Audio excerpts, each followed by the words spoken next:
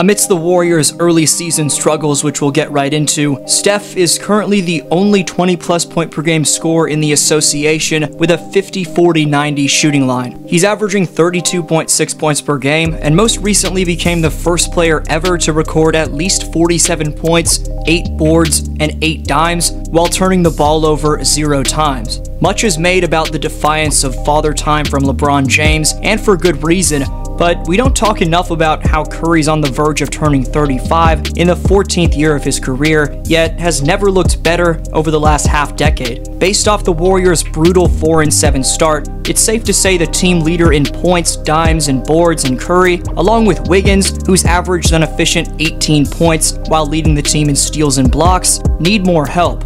That help needs to come in the form of more consistent production from players like Jordan Poole and Klay Thompson, who have to remember who they were all throughout the 2022 playoffs.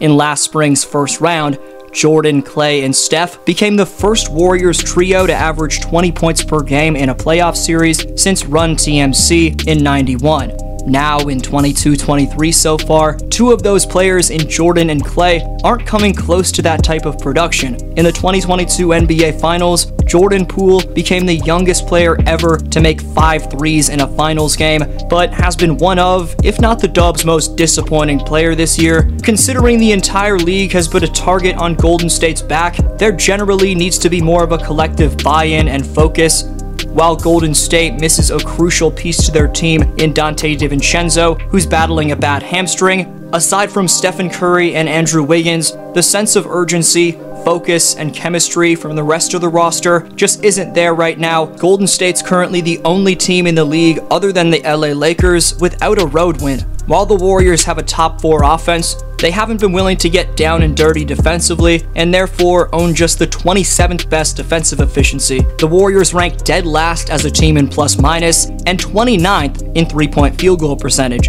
With all defensive team member Gary Payton II going to Portland, an extremely reliable 3 and D guy in Otto Porter, now thriving for my hometown team in the Toronto Raptors, and Nemanja Bjelica, who went overseas, the Warriors' young players and free agent pickups haven't lived up to expectations in bigger roles so far on either end of the court. James Wiseman has been a straight liability on both ends of the floor, and Moses Moody and Jonathan Kuminga haven't shown too much offensive development in their limited roles off the bench. If the season's going to turn around for Golden State, the defensive leadership from the older guys and the defensive IQ from the younger guys needs to reach a different level.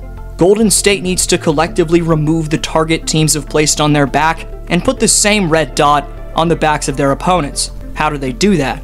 Well, if you play these regular season games like it's the championship, I give the Dubs a chance at winning on any given night. The turning point for the Warriors' rough start, which has featured both head scratching no calls from the officials, which have gone both ways, and a lack of urgency to hold defenders in front of them and pick up on the back end for each other, may have happened against Sacramento. After Steph went off for 47 points, he spoke on the technical he picked up in that game, saying, I see a lot of jokes about me kicking the chair a couple years ago and us going on a run after that. Maybe that'll be this year's version of that. End quote. Just look at how their finals opponent in the Boston Celtics were terrible for the first three months of the season and had the greatest turnaround of all time. It's way too early for them to panic but we have to go back to that 22 season and playoffs to properly evaluate the one dominant quality in Steph's repertoire, which he uses to manipulate defenses on a gamely basis. The film currently on your screen is a video titled 21 plus minutes of Stephen Curry isolations, and of course we won't come close to watching the whole upload. The clips were compiled from last year's season where he played 64 games, and last year's playoffs where he played 22 games. For there to be that many highlights from last season alone of not just Stephen Curry's buckets, but isolation buckets in particular, says a lot about how the man can generate easy baskets for himself.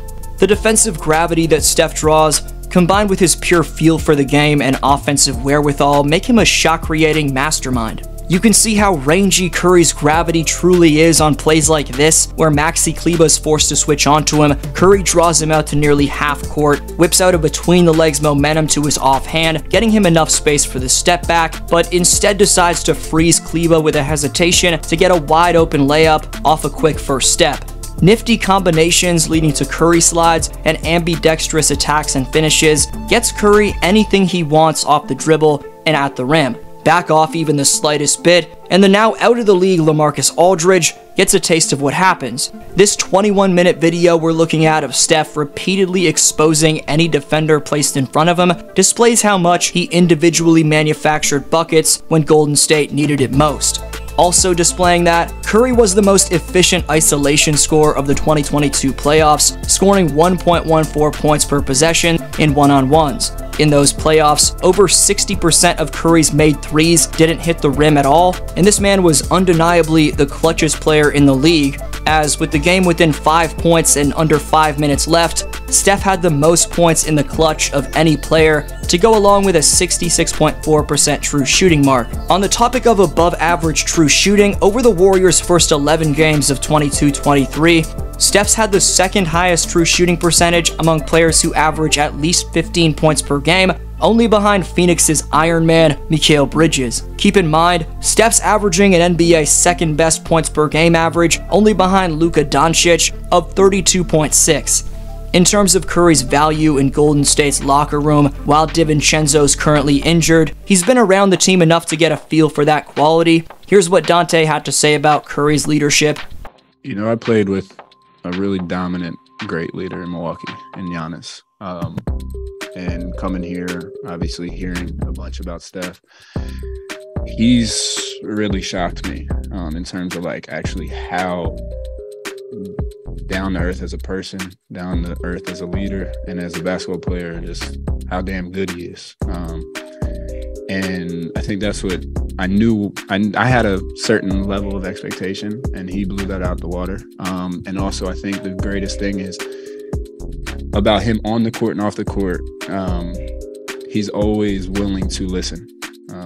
And I think that's what makes him such a, a good leader and such a good player because obviously he knows other people see different things.